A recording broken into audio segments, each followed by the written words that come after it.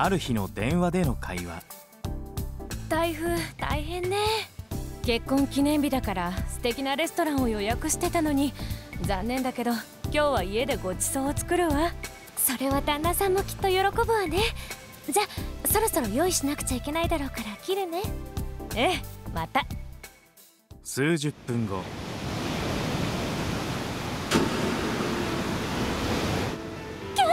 停電 IH も炊飯器も止まっちゃったわ。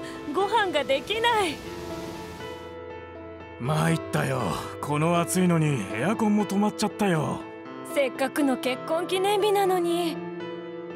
こんな時に限ってスマホのバッテリーも半分しかないし不安だわ。復旧まで持つかしら。一方充電器では。よかった。V2H 重放電機があるから家中で電気が使えるわね電気自動車に充電された電気を災害時も家で使えるなんてすごいよね。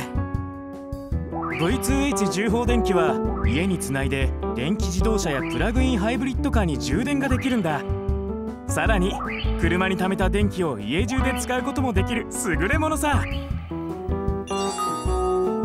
お母さんからだ。電話しよっと。もしもし？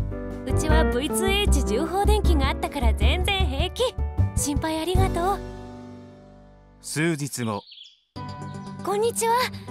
こないだの結婚記念日大丈夫だった？翌朝まで停電で台無しよ料理も作れなかったし冷蔵庫のものも傷んじゃったしお宅は大丈夫だった？